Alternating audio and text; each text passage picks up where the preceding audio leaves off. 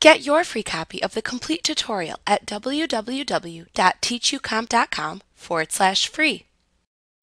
In Word, you can delete characters, words, paragraphs, or all the text in your document quickly and easily. You can use the backspace and delete keys on your keyboard to remove text while typing. You can also select the text to delete and then press the delete key on your keyboard to remove it. You can easily replace any selected text in your document. To do this, select the text to replace, and then immediately type over it with the new text. Doing this saves you the extra step of deleting the old text before typing the new text.